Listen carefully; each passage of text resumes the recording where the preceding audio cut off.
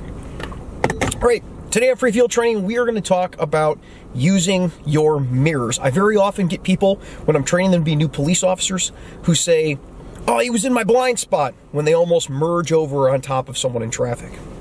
Now, being a cop is very labor intensive when it comes to driving. You have to be a pretty good driver in order not to crash into things all the time, even though the very best of us still end up to crash every once in a while part of being a good driver and part of being a good police driver is being able to weave through traffic.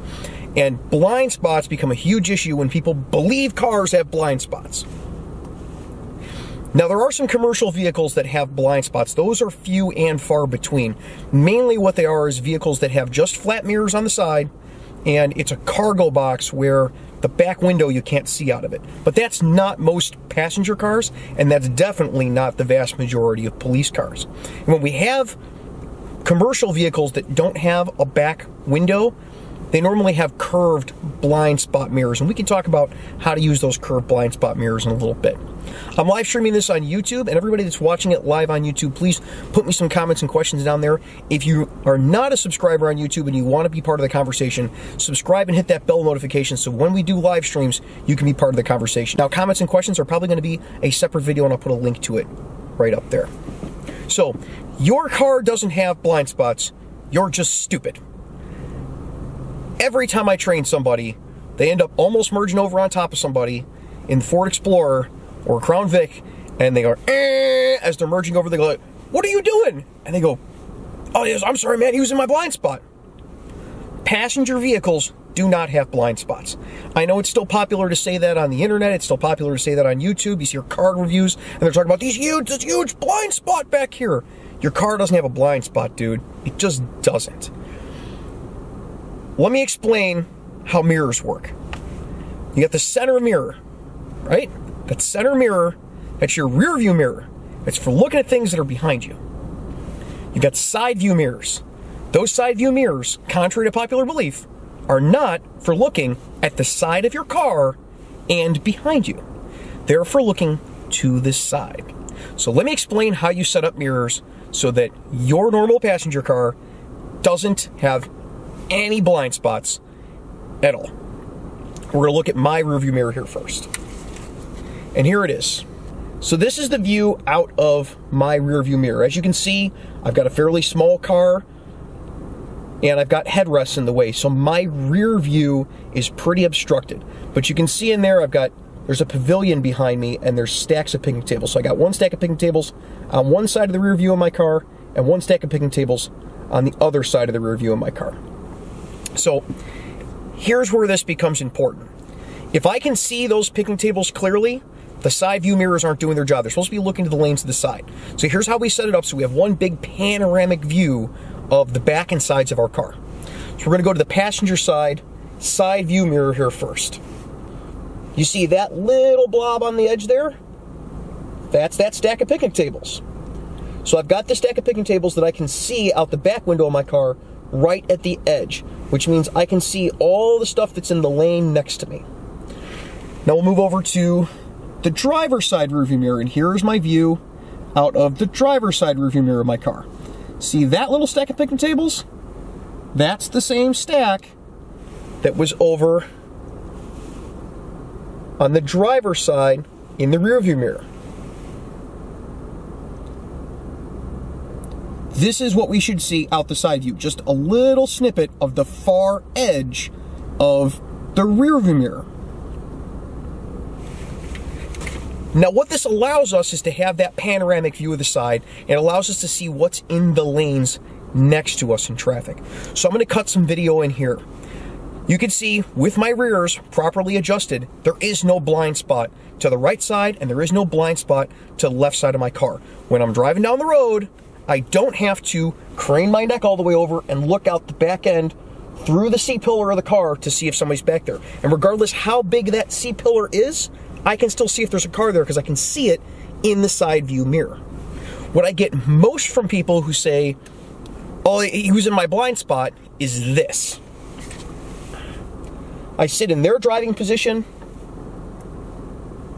and I get half the side of the car and half the back of the car. And of course, if you have it like this, anybody that is driving anywhere near the C pillar of your car, you're not going to see because you're spending your time looking at the side of the car and the horizon line and you're worried about what's behind you.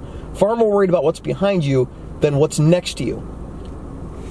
Now, there's decent arguments for why you should be able to see what's behind you, but I think we'd all agree that when you're weaving through traffic or when you're trying to change lanes, it's far more critical who's next to you, especially in that blind spot that cars really don't have.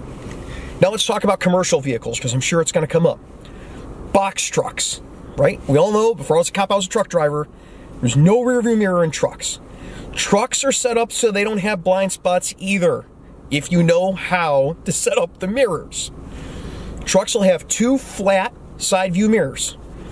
You can use them to look behind you. You don't need to see from all the way over here and see the side of the vehicle in order to see behind you just fine for driving a truck. All you need is a little tiny sliver of the car when you're driving a truck. And then that curved mirror that is normally below or in the corner of the vehicle, the mirror if you're on the commercial vehicle, that's the one that you use to look into your blind spots. They're called blind spot mirrors. They literally name these things what they're for. Now, on big, super heavy trucks, there's also blind spot mirrors at the far front corners of the truck. And on buses, there's mirrors for the front blind spot and for the side blind spots right near the fenders. If you adjust all your mirrors correctly, vehicles do not have blind spots that you can merge into.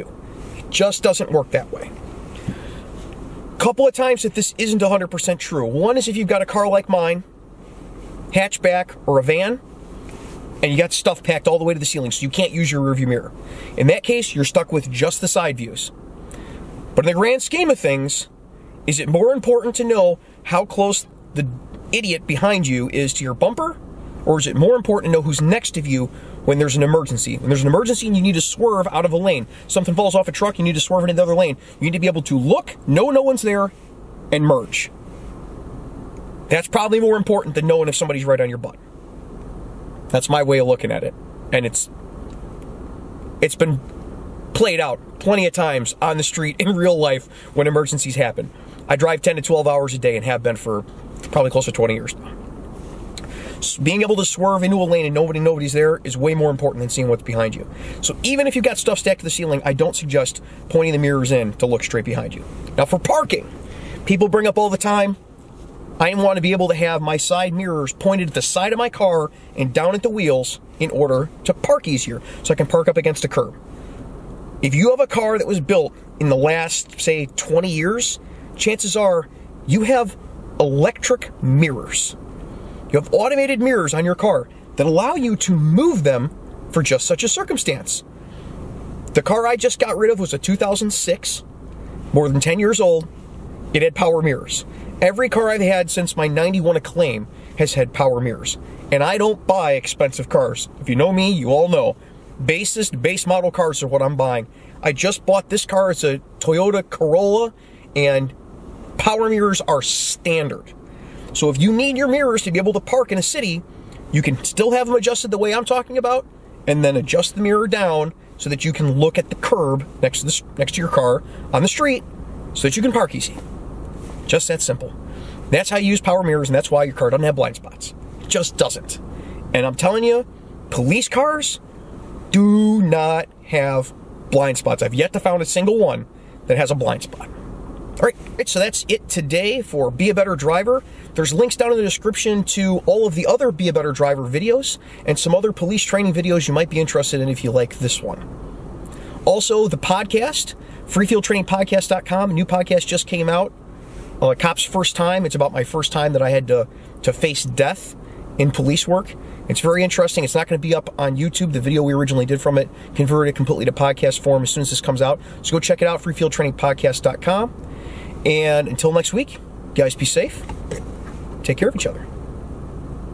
Hey, thanks for watching Free Field Training on YouTube. While you're here, why don't you go check out one of our other videos, or you can head on over to the Patreon and see how you can get your name put on the videos, like these fine folks listed over here. There's also some exclusive content on Patreon that just shows you kind of behind the scenes, like you're seeing now. We'll see you guys next time.